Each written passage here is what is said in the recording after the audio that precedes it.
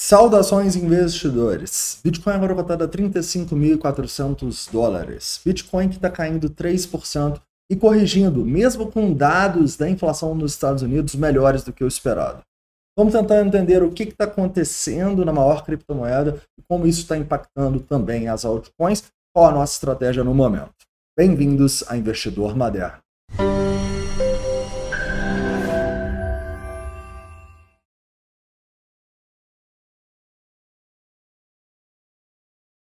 Investidores, vamos começar aqui hoje falando um pouco sobre o que está acontecendo no Bitcoin no semanal, depois a gente vai para o diário, para 4 horas, para uma hora. Vamos tentar entender aí esses últimos movimentos. E depois a gente faz uma atualização de sentimento, né? Vamos falar aqui o que aconteceu. A gente teve muita liquidação mesmo, fazia muito tempo que a gente não tinha tanta liquidação, a gente vai falar um pouco sobre isso. Vendas a mercado bem significativas também. Vamos tentar entender se a gente formou um fundo a partir daqui, né? E para finalizar, vamos também falar um pouco sobre onde estão as ordens de instituições nesse momento e também o que a gente está fazendo com as altcoins, qual que é a nossa estratégia agora dentro do programa de membros. Beleza? Vamos lá, cara. Então vamos começar aqui falando um pouco sobre o Bitcoin no semanal. E no semanal, eu acho que ninguém pode se assustar com o que me parece ser uma correção muito clara aqui, né? Quando a gente traça o nosso Fibonacci do fundo, lá dos 24.500 até o topo dos 38.500, a gente vê que o preço nem chegou em 0,382 ainda, então não seria nada de outro mundo a gente vê o Bitcoin nos 33 mil dólares. Na verdade, essa é justamente a região que a gente está de olho para fazer compras em Bitcoin, em especial se a gente vier retestar os topos abaixo dos 32k, beleza? Antes disso, cara, eu não cogito compras de Bitcoin no longo prazo. Na verdade, esse movimento aqui foi um movimento onde a gente estava colocando dinheiro no bolso pelo menos rebalanceando os nossos investimentos no Bitcoin, inclusive diminuindo a nossa exposição, já que o Bitcoin, caras, ele chegou a subir quase 50%, né? A gente não, mais de 50% do fundo até o topo, né? Caras, a gente chegou a subir aqui 57%, né? É claro que não dá para pegar do fundo, né? Mas se a gente for pegar do ponto que a gente consolidou ali, cara, a gente subiu aí os seus 50%, né? Ali dos 26 mil dólares e tal. Então a gente fez um movimento muito forte, cara. E no mercado de cripto, a gente entende que tudo que sobe muito, uma hora ou outra tem que corrigir, tá bom? Então, correções são naturais no mercado. E o que eu acredito que a gente está vendo é uma correção por alguns fatores. Vamos lá. Primeiro deles, eu diria que os volumes, beleza? A gente sim deixou um volume grande no topo, mas me parece o volume de um topo local, ou seja, um volume que a gente possivelmente vai ficar algumas semanas para rompê-lo, mas dificilmente eu acredito que essa, esse é um topo para durar 3, 4, 5 meses, entendeu? Então eu acho que é, esse é um topo importante, mas pelo volume não é um topo tão importante assim. Quando a gente olha, por exemplo, o volume da queda também, não é um volume que assusta, apesar de sim ainda faltar 4 horas para fechar esse candle, dificilmente esse volume vai ser maior, por exemplo, que o volume que a gente teve no topo. Outro ponto muito importante que a gente pode destacar é que todas aquelas semanas que a gente consolidou nos 33, 34 geraram um suporte muito importante nessa região. Tanto é que quando a gente chegou a cair ali para os 34.500, o Bitcoin bateu e já voltou para cima dos 35. Nesse momento a gente está brigando nos 35.300 dólares, né? Ou seja, a gente tem um suporte muito importante aqui. E mesmo que a gente perca esse suporte aqui, o que para mim já não seria tão provável assim, pelo menos não hoje, a gente ainda teria o suporte do semanal dos topos anteriores e tal. Então, para mim, a tendência do Bitcoin continua muito clara de alta e me parece que a maior probabilidade é que a gente está vivendo uma correção no mercado. Inclusive, a gente vem falando isso nos últimos vídeos. Eu estou torcendo para a gente ter essa correção. Por quê? Porque se só subir, a gente vai vendendo, colocando dinheiro no bolso, vai diminuindo a quantidade de Bitcoin que a gente tem. Né? A gente precisa das quedas para usar o caixa que a gente vendeu para fazer boas compras, né? Então, quando o Bitcoin cai assim num dia, fazia tempo que a gente não via né, ele cair 3% num dia, as altcoins tendem a cair até mais, né? Então a gente está vendo algumas altcoins caindo 5, 5,5, né? Se eu, se eu pego aqui as maiores altcoins do mercado, tem altcoins até caindo bem mais, cara.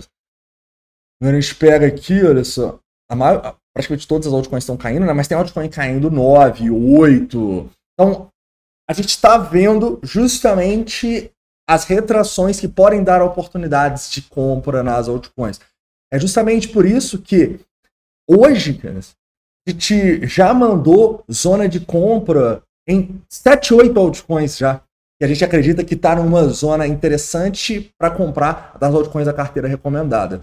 Se você quiser ter acesso a isso, não se esqueça de participar do programa de membros. Porque há uma semana atrás, em especial até o domingo ali, quando estava todo mundo falando Vamos comprar altcoins, senão a gente vai perder o bonde. Vamos comprar altcoins, senão a gente vai perder o bonde. O que a gente estava fazendo? A gente estava vendendo praticamente todas as altcoins que a gente tem. Vendendo tudo? Não, claro que não. Você acha que eu sou doido? Você acha que eu fiquei um ano acumulando altcoin nasquelas quedas para vender tudo numa primeira alta de 100%? Não.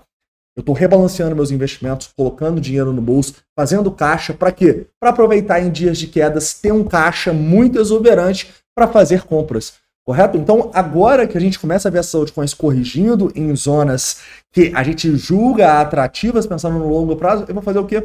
Eu vou estar olhando para comprar. E é por isso que eu falo com vocês que ter uma estratégia para usar do rebalanceamento, para comprar quando está barato, para vender quando está caro, faz total sentido no longo prazo.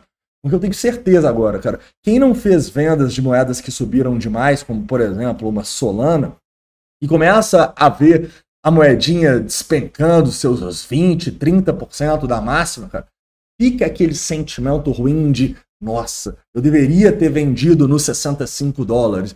Como se fosse possível saber que a máxima seria ali no 64, 65. Você tá entendendo?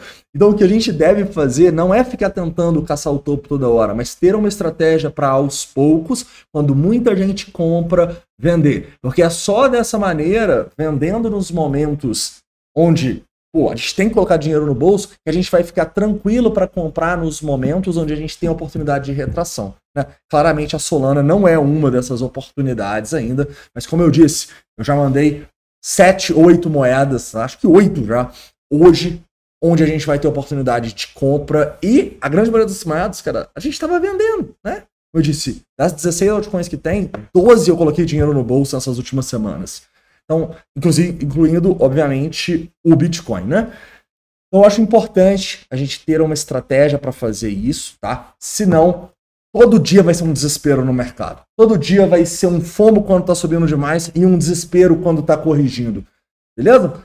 Então, considere participar do programa de membros caso você ainda não participe. Tranquilo. Então, continuando aqui falando um pouco sobre o sentimento e por que eu acredito que essa correção talvez pode até estar terminando. Tá? O primeiro fator que eu quero destacar é uma liquidação muito forte, beleza? Uma liquidação de mais de 100 milhões de dólares.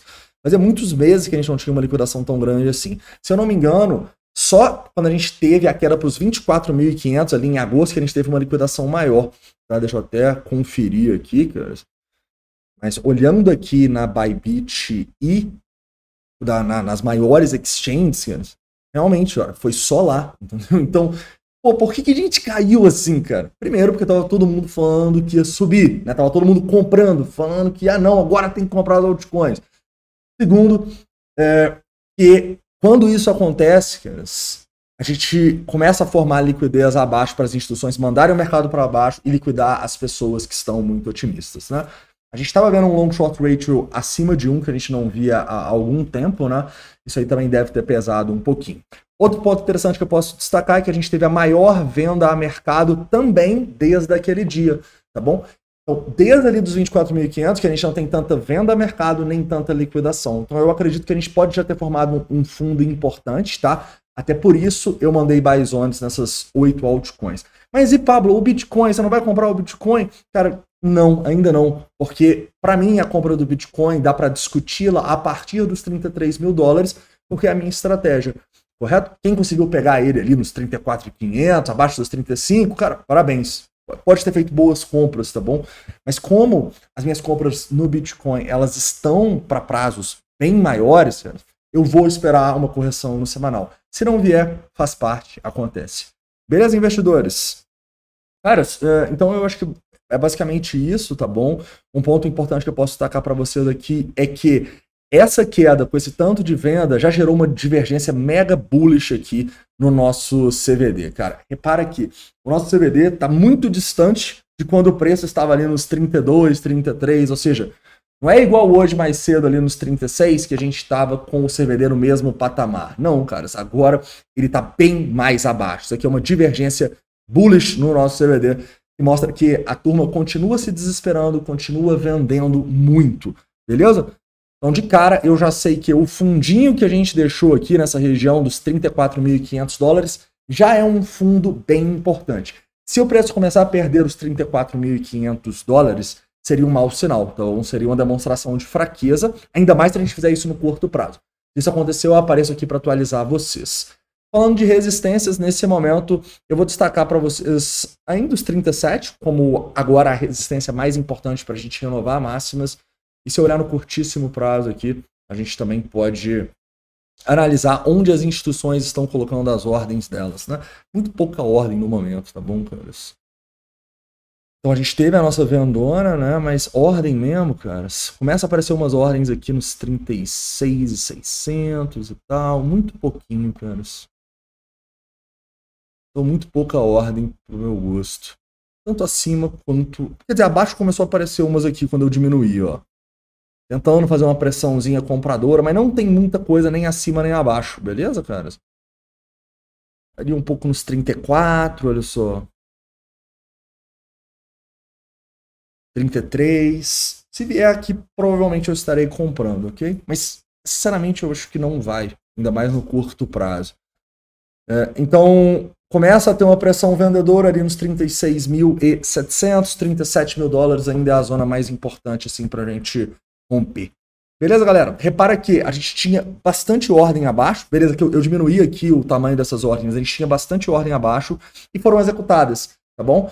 Então é justamente essas ordens aqui embaixo é, que permitem as instituições acumularem, beleza? Por isso que a gente vê esse tanto de gente sendo vendendo a mercado. E detalhe, as pessoas vendem a mercado porque elas querem? Não. Muitas delas entraram em operações terríveis sem colocar o stop e, infelizmente, são liquidadas, né? Então a gente viu aqui nas últimas 24 horas, é, aqui na CoinGlass, a gente vê 326 milhões de dólares de longs sendo liquidados. Né? 40 milhões de shorts.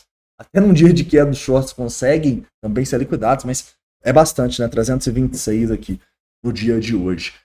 Então, resumidamente, caras, eu acho que a gente formou um fundo importante, beleza? É, eu ainda não estarei comprando Bitcoin, mas eu estou sim de olho em altcoins e mandando para os membros altcoins para a gente fazer possíveis entradas. Além, é claro, né, de enviar possíveis, possíveis trades dentro do live trading para quem é associado. Então é isso, um forte abraço, a gente se vê aí dependendo dessa volatilidade.